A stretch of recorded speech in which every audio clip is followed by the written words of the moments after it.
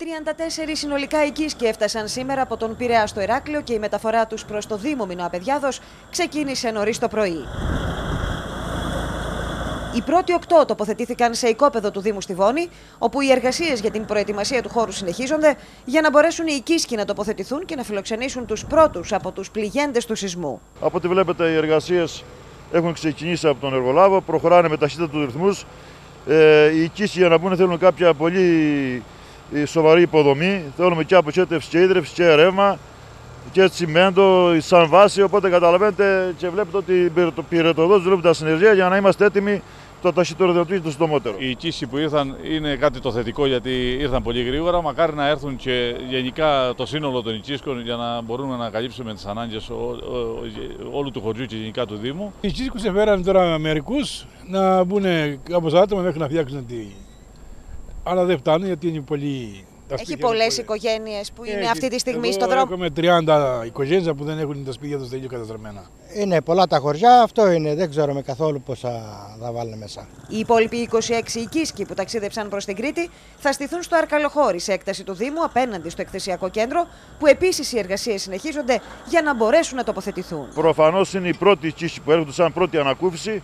Στη συνέχεια, από ό,τι έχει δεσμευτεί η πολιτεία, θα έρθουν και άλλοι οικίσκοι σε ό,τι αφορά το χρόνο κατά τον οποίο θα μπορέσουν να μπουν οι πληγέντες μέσα στους οικίσκους, σύμφωνα με το Δήμαρχο Μινώα Παιδιάδο, τοποθετείται στα τέλη της εβδομάδας. Σύμφωνα με τα λεγόμενα του εργολάβου που μιλήσαμε χθες και τον πιέζω αφάνταστα τον άνθρωπο, ε, την Παρασκευή θα έχουν τελειώσει οι εργασίες της αποχέτευσης και της ίδρυυση και πιστεύουμε ότι το Σάββατο ή την Παρασκευή από το μεσημέρι και μετά θα αρχίσουν να πέφτουν τα μπετά. Οπότε εμείς Κυριακή Δευτέρα πρέπει να τοποθετήσουμε τους οικίσκους οι οποίοι ήρθαν σήμερα.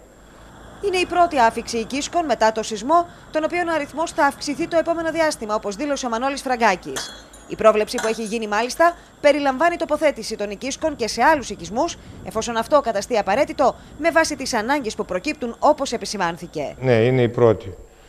Ε, περιμένουμε άλλους 60-70 ε, κάπου εκεί.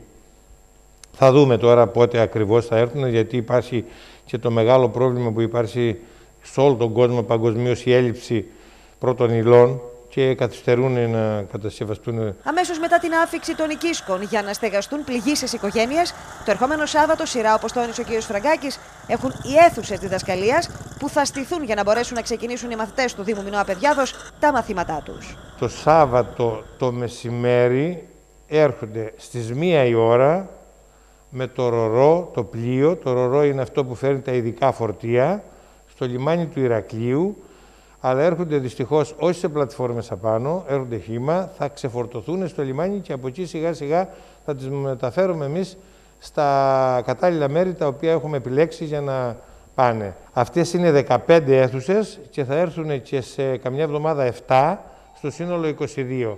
40 αίθουσες μπαίνουν από σήμερα σε, σε διαγωνιστική κατάσταση για να μπορούσαν να αγοραστούν και να έρθουν και αυτές σε επόμενες μέρες.